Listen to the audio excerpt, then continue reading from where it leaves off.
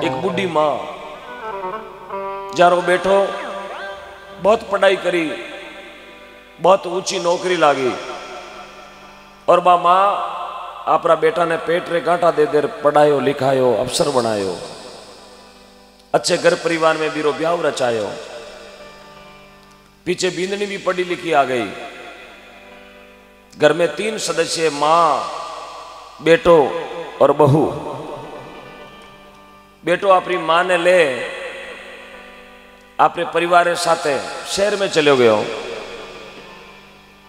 बूढ़ी माँ जिरी उम्र अस्सी, नब्बे साल की, हाथ मुँह लोटो पड़ जावे पानी गिर जावे, जूठो भोजन भी कर जावे, बुढ़ी आत्मा। लेकिन अब बात उन बहू ने पसंद नहीं। बहू आपरा पति ने बोली, या तो घर में बुढ़िया रहे या घर में मैं रहूँ। मुझे कतई पसंद नहीं है। कि आपरी माँ घर में वो बिखेरो करे भगवान परमिता परमात्मा री जैसी मर्ज़ी है एक समय वो बेटो आपरी मारा कपड़ा थैला में गालिया और आपरी माँ ने अनाथ आश्रम में छोड़ने वास्ते रवाना भी हो कपड़ा रो थैलो बेटा रे हाथ में माँ पीछे पीछे चल रही है और घर की दहलीज, घर की थलियों बारे निकाल, वो थैलो माँ ने हाथ में पकड़ायो और घर सु रवाना कर दी और उन मारे आंखिया में आँसू पड़िया तब तक माँ ने पतो नहीं कि बेटो मैंने कटे ले जा रही हो।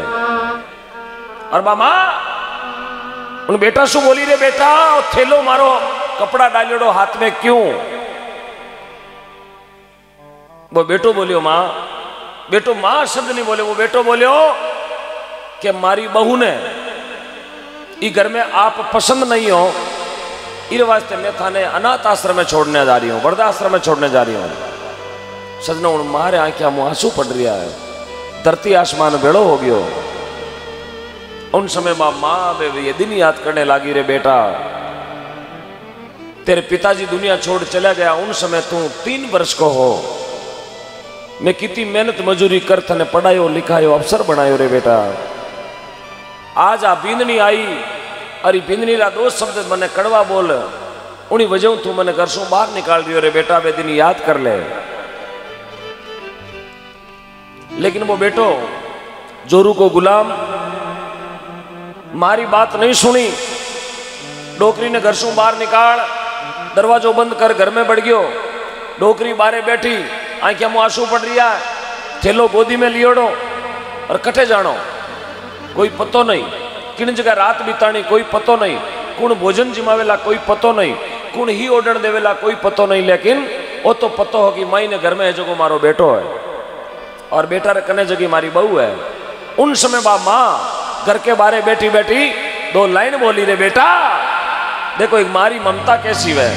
माँ, सजनों संसार में भाग्यशाली वही होता जिसके माता पिता है। चाहे आदमी के पास करोड़ों की प्रॉपर्टी हो, नहीं हो, रुपया टका हो, नहीं हो धन दौलत हो, नहीं हो, गहना गांटा हो, नहीं हो, लेकिन माँ बाप यदि घर में है तो वह दुनिया को सबसे बड़ो बड़ो अमीर आदमी है। ज़रूरी नहीं है घर में लाखानी प्रॉपर्टी वह ज़रूरी नहीं है घर में हर तरह की गाड़ी घोड़ा वह यह ज़रूरी है कि घर में माता पिता वह और जिन्हें घर में माँ बाप है, वो घर आज भी स्वर्ग है, कल भी स्वर्ग रहेगा और परसों भी स्वर्ग रहेगा। उन घर में कोई घाटो नहीं है जिन्हें माँ बाप है। तो बा माँ, आँखें मांसू पड़ रही है? छोटो सो भजन, आप बड़ा प्रेम सुनिएगा। एक मारी ममता क्या होती है? एक माँ की तो दुख देख उन बेटा ने मोटो करे। माँ अपने बुखार की तो फरमायो। उन माँ ने मन में आयो, इतनी बात क्यों ताकि वो गेट खोल देवे। लेकिन नहीं, क्योंकि जिर ऊपर दूजारो अधिकार है ना, वो कतई आप डिसीज़न खुद नहीं ले सके। अलका में राखियो बेटा, पलखा में राखियो, लाड लड़ायो, दूध पिलायो, सुका में सुलायो, हालरियो, हुलरायो। थन घणो ही खेलायो पण मारो न्यारो मत वे मने दूर मत कर, एक मारी ममता है। और मारी ममता जब जागती है तो साहब सीने में से आँखें आँसू निकलते हैं। उन समय मामा घर सु थैलो ले रवाना हो गई। घड़ी घड़ी पाची मुड़े। कैसे भी करके वो बेटो एक बार मैंने माँ शब्द बोल दे लेकिन नहीं। वो बेटो नहीं बोले हो। तो मामा पाची गिर। उन बेटा ने क्यों नहीं लागी? ये बेटा,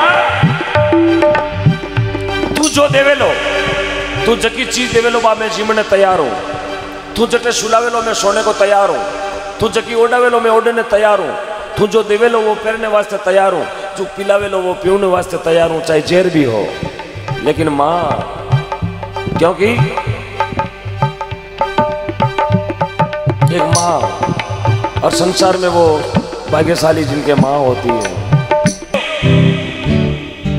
कि माँ क्या होती है? माँ कई मूर्ति वह माँ, वो मूर्ति है साहब। यदि माँ रोती है तो क्या पत्थर की मूर्ति में सभी खून के आँसू आते हैं। यदि माँ रोती है। उन बेटा सो बोली, रे बेटा, लूकी खा लू ली, प्यासी रे लू ली झाड़ू निकालू ली पोछा देऊ ली तू जटे सुलावे जटे सोलू ली थारा टाबर राखू ली तू जो कहे हो मैं करने को तैयार पड़ घर से बाहर मत निकाल लेकिन नहीं जिसके ऊपर माया रूपी भूत सवार हो जाए ना उन आदमी ने कभी अपना रिश्ता याद नहीं रहता कि रिश्तों का ही है रिश्ता वही जानता है जिसने रिश्ते के बंधन को बांधा है आज कछुआ परिवार का वो रिश्ता मज़बूत रिश्ता अटूट रिश्ता जिसको लेकर भाई सहदेव जी पूरे परिवार के साथ रहे। सबसे पहले परिवार फिर मैं। परिवार ने जो आगे रखे, वो परिवार हमेशा बहुत बड़ो बरगद बनया करे, बहुत बड़ो वृक्ष बनया करे और मेरी छाया भी बहुत गहरी व्या करे। तो धन्यवाद इस कछुआ परिवार को, जिन्होंने एक वट वृक्ष बनकर ऐसा बड़ा ऐतिहासिक कारनामा, खाटू श्याम के नाम का मंदिर प्रतिष्ठा, मूर्ति प्राण प्रतिष्ठा और लाखों की राशि गौ माता के लिए भेंट, ये एक वट वर्ष की छाया है। जागरण एक परिवार करवाई, लेकिन फायदो हज़ार गौ माता ने मिले हो ये होती है साहब सच्ची भक्ति। और ऐसा करने वाले आदमी दुनिया में कभी घाटा नहीं खाते उनको हमेशा भगवान उन्नति देता है। और मैं भगवान से यही मंगल कामना करता हूँ, प्रभु। इनके परिवार में हमेशा खुशियाँ रहे, आनंद रहे। इनका परिवार निरोग रहे, स्वस्थ रहे। भाई भाई का प्रेम बना रहे। क्योंकि जहाँ भाई भाई का प्रेम है, उसके भगवान भी गुलाम है।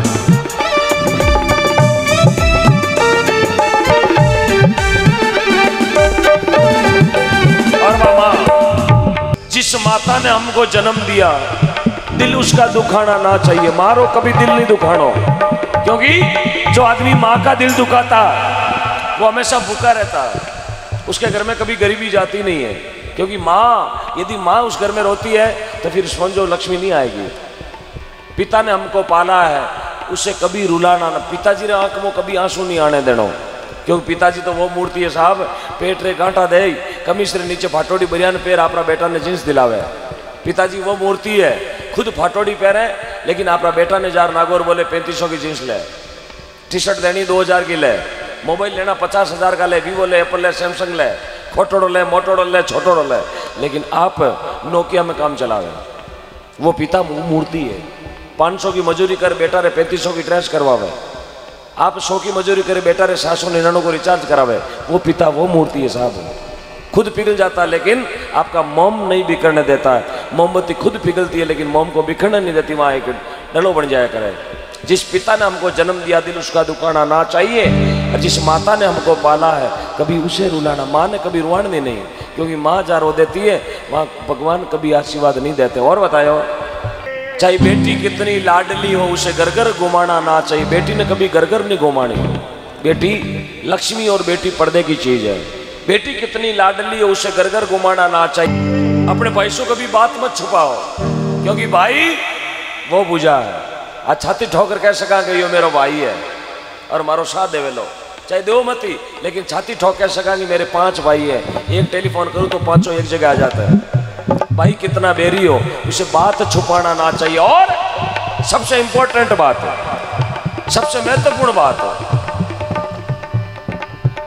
चाहे पत्नी कितनी भैया बहुत बहुत धन्यवाद।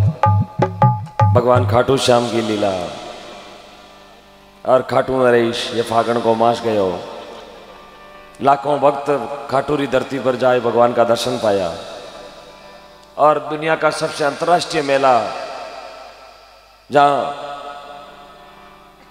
खाटू श्याम सब भक्ता ने दर्शन देवे, फागुन मास में। ओ खाटूरो लग दातार बांजडियारी गोद भरावे निर्दनिया ने धनवान करावे, दुखियारा दुकड़ा मिटावे। रोता रोता जावे हंसता हंसता आवे, ये मेरे खाटू श्याम की माया है।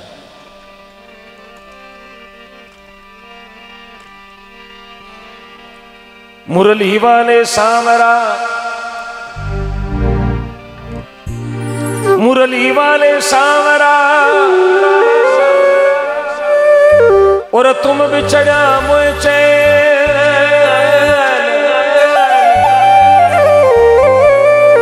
जल बिना तरसे माछली, ओ कन में तरसू दिन रे, ओ कन में तरसू दिन रे।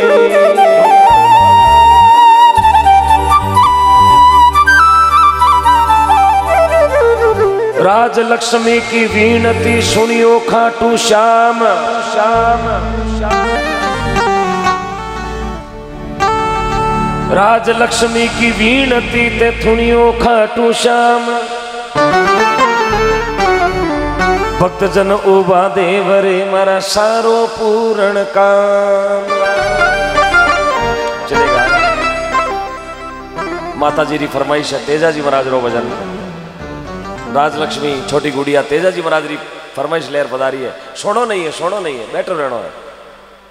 लक्ष्मी सोनो नहीं है। हाँ अभी तो पंद्रह सौ रुपया आया पाँच सौ आल और लेना है। हाँ एक नोट और लेना है। तेजा जी रो भजन गाओ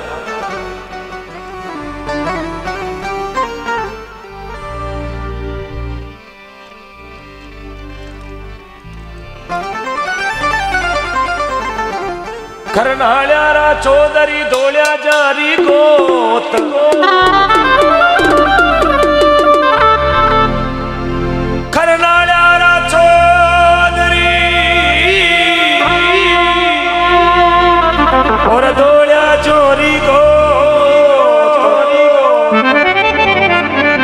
सुरसुरा रे मायने करनाळ्या रे मायने धरी जड़े यखंडी जो।